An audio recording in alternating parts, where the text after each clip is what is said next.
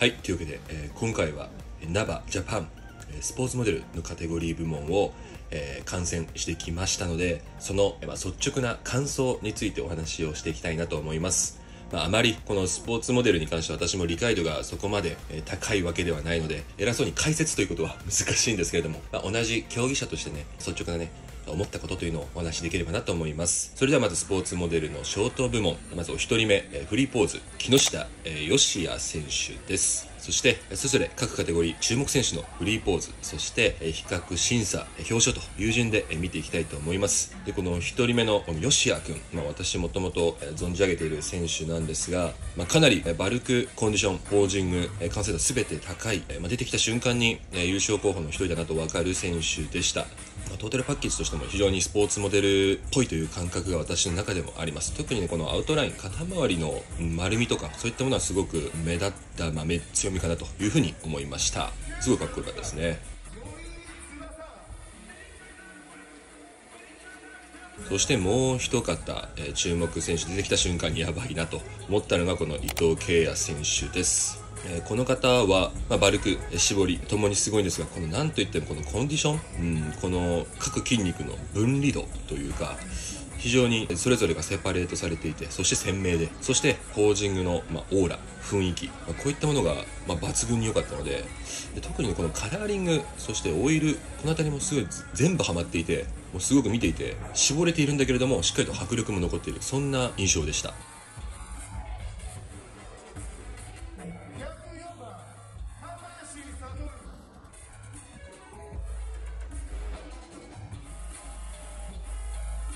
で比較審査に関しても、まあ、この2人が中心となって進んでいっています、まあ、正直、えまあ、このカテゴリーもトップ選手非常にレベル高かったんですがその中でもちょっとこの2人がうん群を抜いてたんじゃないかなというふうに私の目には見えました。まあ、こうやって、まあ、この画面越しで見ると、まあ、若干の差なんですけれどもやっぱケイヤ選手の方が、うん、少し筋肉のセパレーションとか分離度っていうのはこの距離からでも鮮明に見えるのかなというような印象はあります。すごいですね。こういったところもカラーリングとか肌のコンディションとかそういったところでもステージの差として現れていくんだなというのが、うん、改めて思うところですね。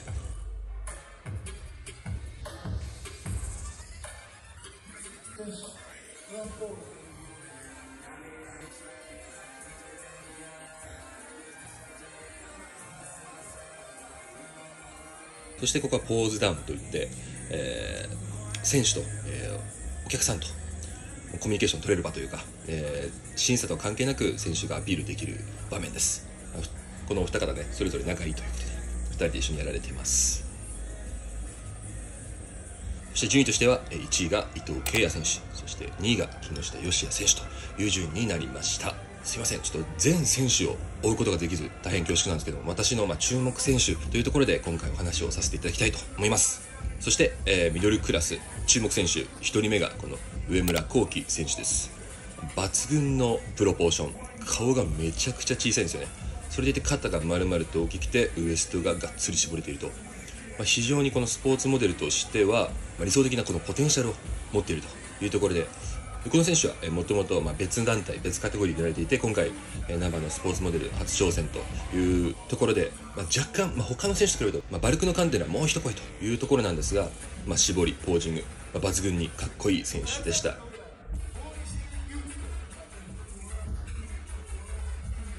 続いて注目選手が米山弘樹選手です。カテゴリーとしてもスポーツモデルで収まる今ギリギリのサイズ感なのかなというふうに思います。体のクオリティとしては非常に高かったんですがこのスポーツモデルらしさスポーツモデルの理解度みたいなものを求めるナバでどこまで評価されるのかなというのが少し、ま見てて思うところでした。続いて、えーミドル。私の中ではもう優勝候補かなと思っていたのがこのビクトル選手です。彼はもうもともとサマスタの、え王者として君臨していてで今年からナバに団体を変えて挑戦をされております。まあ、全身のバルクバランス絞り雰囲気も抜群でもう本当に私の中ではザ・スポーツモデルというイメージが彼にはありますで、まあ、かなりのねプレッシャーがある中での挑戦だったと思うんですけれども、まあ、最高のパフォーマンスをステージで見せてくれたんではないかなというふうに思います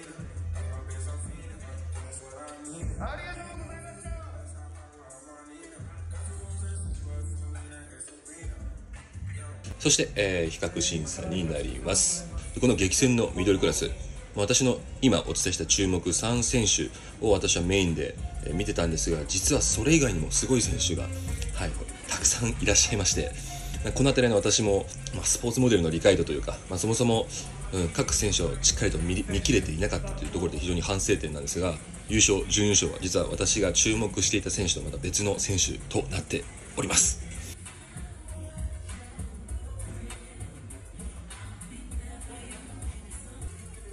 でですね、まあ、順位はまた別でお伝えするとして非常に注目度として高いパフォーマンスというのがこのピックアップの部分になりましてこのビクトル選手そして米山弘樹選手このお二方もともと仲のいい2人の選手が2人呼ばれてこうやって横に並ばされてこう歩いて向かい合ってポージングを取り合うバチバチに取り合うというこの非常に盛り上がるシーンとなりました。でこの2人のピックアップっていうのは、まあ、基本的には実力が拮抗した2人を並べるということで、まあ、ここの中で観客席の中ではあこの人たちが1位2位なのかなというような雰囲気が、うん、ありました。ただこのピックアップ自体は結構その1位2位決めるだけじゃなくて例えば2位3位とか3位4位とかそういったものを決めるときにも使われるものでここに呼ばれたから1位2位が確定するというものではなく、まあ、あくまで2人拮抗しているのでこの2人を見比べようねというようなものになります。でこの2人を見比べた時やっぱりビクトル選手がやっぱり歴がスポーツモデルとしての歴が長いというところもあって非常に、ま、ザ・スポーツモデルだなというような感じがありました、これが、ま、体のただの仕上がりとか、でかさだけではない部分としてスポーツモデルの難しさなのかなというふうに思います。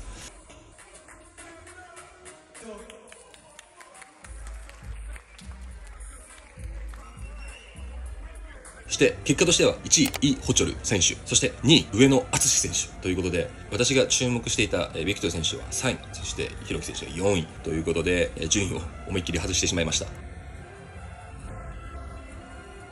続いて、えー、スポーツモデルトールクラス注目選手秋葉和樹選手です、えー、もう頭の先から爪の先までイケメン爽やかそして顔が薄い私顔が濃いんでね、この顔の薄い顔がすごい羨ましいんですよね。全然どうでもいいですね。すいません。本当にかっこよくて、ポージングもかっこいいし、体のバランスも抜群。決してバルク派というわけではないんですけれども、やっぱ体の筋肉の分離度だったり、鮮明度、もうお尻のハムケツまでバリバリに絞れているので、まあ、これがもうスポーツモデルの本当に理想形に近いんだろうなというのを見てて思いました。まあ、本当に、えー、ステージ優雅でかっこよかったです。でこのクラスに関しては大変恐縮なんですけれども、あまり私が存じ上げている選手がおらず、秋葉和樹選手のことをずっと見続けておりました。すいません、ストーカーみたいで。他にも多分有名な選手ってのはいらっしゃったと思うんですが、なかなか秋葉和樹選手のステージング、まあ、抜群にかっこよすぎて、えー、ずっと彼を追いかけているというような、えー、トールクラスでございました。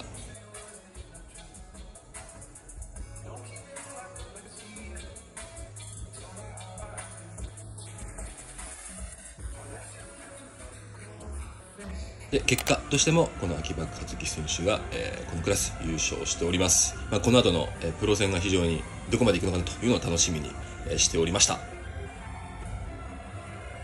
はい。そして続きましてスポーツモデルスーパートールです。注目する選手が2人います。1人はこの平山エイト選手。エイト君私がね2月で、えー、プロクリファイの時に戦った選手にもなります。2月の時は、えー、彼はフィジークとして、まあ、私と同じクラスで出てたんですけれども今回、まあ、スポーツモデルにカテゴリーを変えてただこの即席のスポーツモデルということではなくてもうこれが本業で生きていくんだというような覚悟をすごく感じました。これはもうポージングだったり雰囲気足の、まあ、凄まじいカットこの辺りからも、えー、非常に感じることができて、まあ、最高にかっこいいステージを見せてくれました。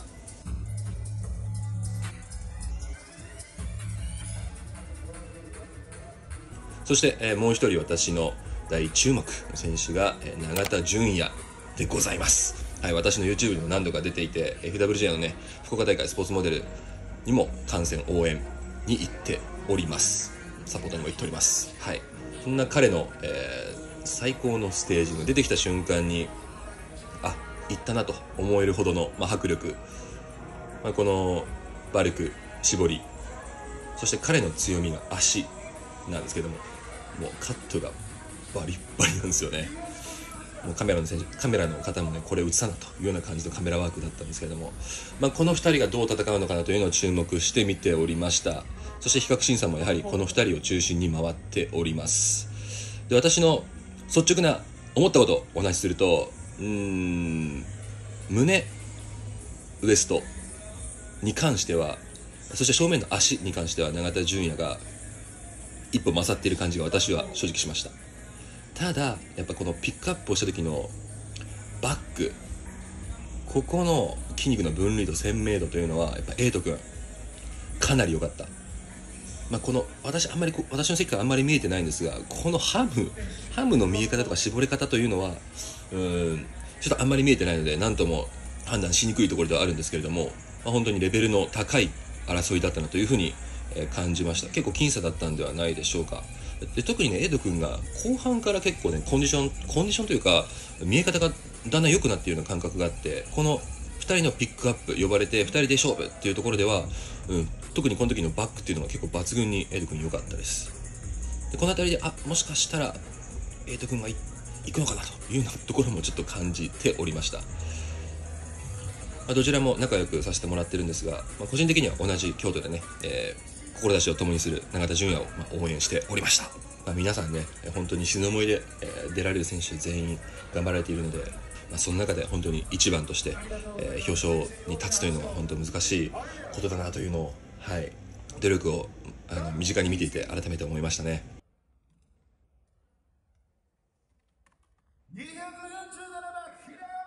そして優勝は平山英選手おめでとうございますいや本当にね皆さんかっこいいステージングでした、まあ、体を見るとねその過程が透けて見えるので、はい、感動を呼びますね。そしてですね、その後、プロ戦があったんですけれども、実はこのナバジャパン、非常に進行が遅れまして、その遅れ方というのはですね、プロ戦の時には予定よりも多分5時間ぐらい押して、もともとのスケジュールだとプロ戦が18時ぐらいから開始するような予定だったんですけれども、それが終わったのが夜の12時を回っているというような、そんな感じでした。ということで、私最後まで見れずですね、プロ戦は見れずだったんですが、順位としては、